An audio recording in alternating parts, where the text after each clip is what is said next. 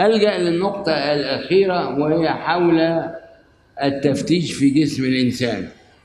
تيجي في المرور تجد عربية عربية آه، خالفت قانون المرور.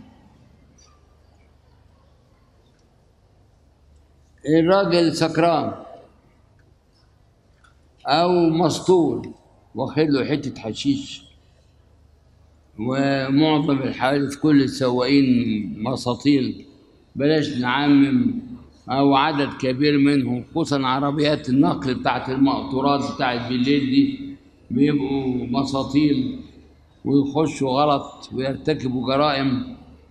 وسواقين ال- القطورة ولا بتوع ال- ال- الصن اللي بيعملوا الحاجز ده بيسموه إيه؟ صنافير إيه؟ التحويلة. بيبقى مسطول. آه فكل الناس دي بيبقى مساطيل. تيجي انت كمحقق وياه بقى المتهم محامي تقول له نعملها غسيل معدة عشان نعمل نشوفك واخد حشيش ولا لا. يجي المتهم يقول مش رايح. هل يملك النيابة؟ ولا يملك مأمور الضبط القضائي إنه يجثره يجبره. قانون المرور بيقول يقدر بالوسائل الفنية يعرف الوسائل الفنية. في الحتة دي بقى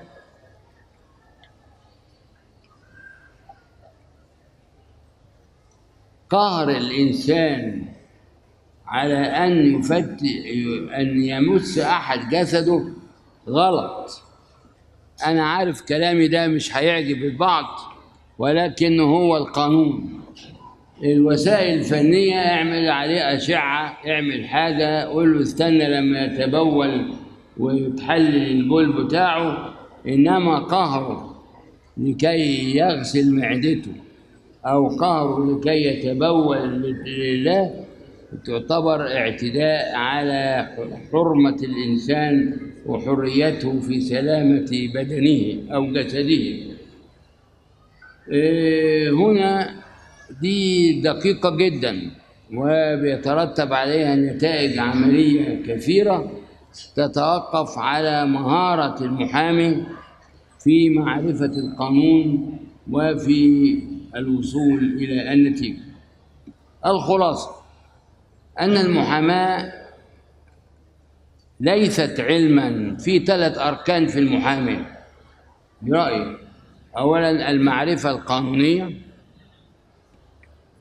اثنين القدرة على الإقناع ثلاثة الكونتاكت يعني القدرة على الاتصالات. المحامي اللي قاعد في بيته بس مش هتجيله قضايا. ولا حد يعرفه. ولهذا لما بتروح تحضر اجتماعات ويبقى لك اتصالات وناس عارفاك. آه، دي مهمة جدا. المحامي يجب قالوا ولهذا دايما بلاقي محامين عندهم كروتة أو عد مساعده معاه كروتة. يجب يبقى منتشر وله معارف وله اتصالات. لو هو ما جاتلوش القضية ما حدش يعرفه بيرجع للمساعدين اللي هو بيكملوا دوره. وقدرته على الإقناع ما بتجيش بالعلم القانوني فقط بتيجي بدراساته وثقافته غير القانونية. ولهذا المحامي الذي لا يعرف غير القانون فقط لا يصلح أن يكون محاميا. تقرأ علوم سياسية تقرا جغرافيا تقرا تاريخ تقرا دين. ولهذا في المرافعة على على كيت الدين لما تتمثل بآيات قرآنية وبأحاديث نبوية في بعض الأحوال تكون مقنعة وتثير الانتباه واليقين القضائي. هنا يبقى اذا الإقناع يتطلب ثقافة غير قانونية مارست الثقافة القانونية فقط المنطق وقوة التعبير و... والقدرة على الجدل يعني أنا شخصيا أحب اللي يعارضني أكتر من اللي يأيدني ليه؟ هقول لك ليه؟ اللي بيعارضني إما بيع... أقدر أرد عليه وإما يقنعني فآخد برأيه. لما تكون شخص مجرد ما انتش متشبث برأيك يبقى تستمع للمعارض. فإما أنت ما يعجبكش رأيه وتجد إن الاتجاه اللي أنت ماشي فيه صح فتستمر عليه. وإما يقنعك فتعدل عن رأيك. يبقى إذا الاستماع للمعارض يفيد أكتر من الاستماع إلى المؤيد. المؤيد ما كتير بيأيده إنما المعارض إما لو معارض بيتكلم بجد مش بأي كلام يعني كده. إيه، فيبقى تستمع إليه إلى أنك قد تأخذ به.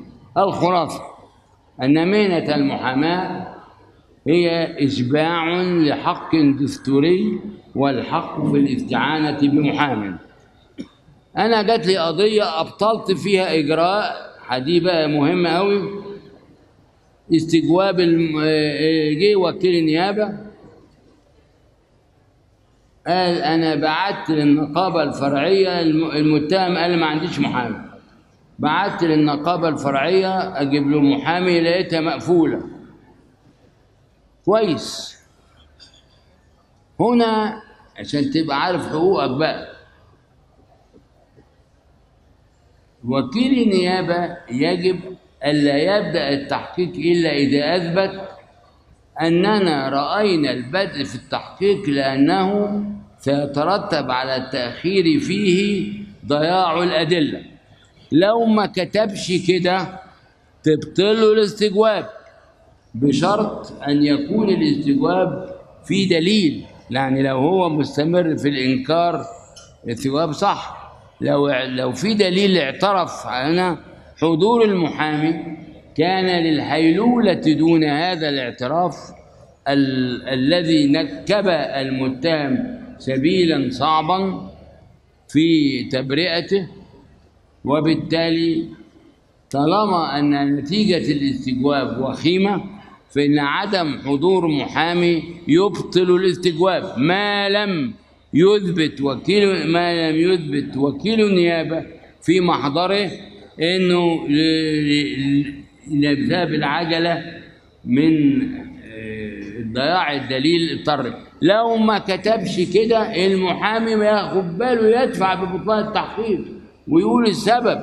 لو انه لو ما تمسكش بهذا البطلان راحت القضية. فبالتالي المحامي الناصح اللي مذاكر قانون يمسك في الاستجواب ده ويشوف اولا أدى إلى النتيجة وهو الاعتراف عشان يبطله ولا لا. اتنين أثبت النيابة وكيل النيابة المحقق ظرف الاستعجال ولا لا.